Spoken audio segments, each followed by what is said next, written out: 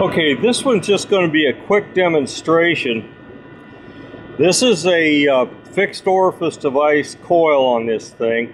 It's a heat pump uh, being used in air conditioner right now. I want to note a few things. We have 80 degrees right there for the return air.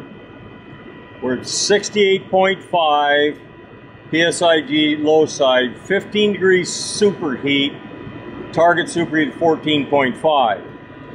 Uh, head pressure is 194 and 8.8 on subcool. Now, I'm going to pull this gauge set off, but I'm going to pump down the gauge set.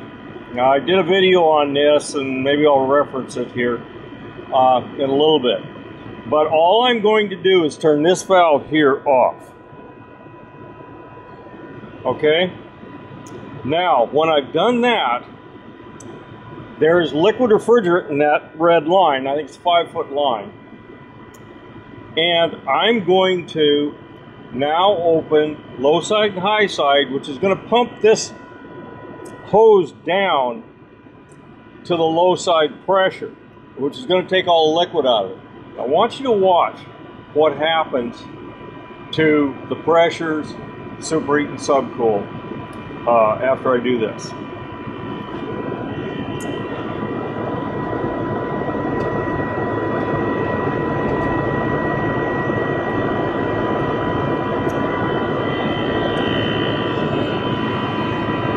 Okay, it's already down.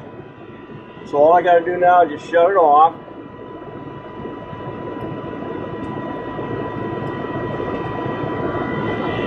I mentioned subcool. I'm not going to be able to do subcool because uh, I don't no longer have communication with the system. I'm going to let this settle down, and when I come back, let's look at what happened to the uh, the low side pressure and the superheat.